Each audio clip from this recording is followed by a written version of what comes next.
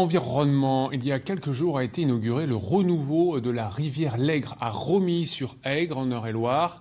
L'ancien cours de la rivière a été comblé et un nouveau lit a été réalisé pour améliorer la qualité de l'eau et favoriser, vous allez le voir, la biodiversité. Les explications de Julie Postolek avec Didier Lepape. Derniers travaux de finition pour ce nouveau cours d'eau, ou plutôt ce nouveau lit dans lequel coule l'Aigre. Jusque-là, la rivière ruisselait en partie dans un ancien lit, en partie dans un bief, un canal de dérivation. Et cela posait problème.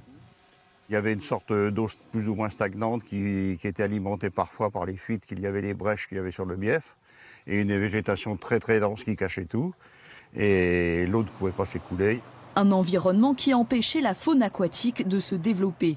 Le syndicat du Loir a alors mené pendant 4 ans des études et des travaux.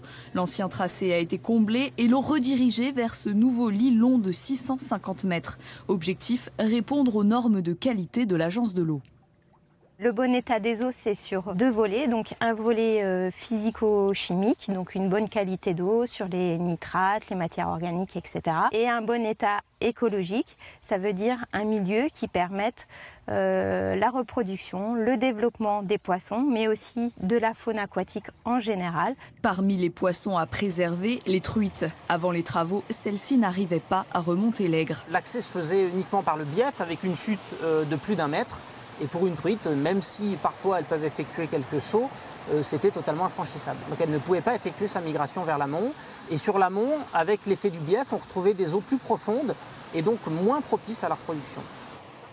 Ce nouveau lit devrait donc permettre aux poissons de se reproduire normalement. Un prélèvement sera effectué l'an prochain pour vérifier que les truites ont recolonisé l'aigre et elles devraient vite réapparaître car les verrons, ces petits poissons dont elles raffolent, sont déjà là.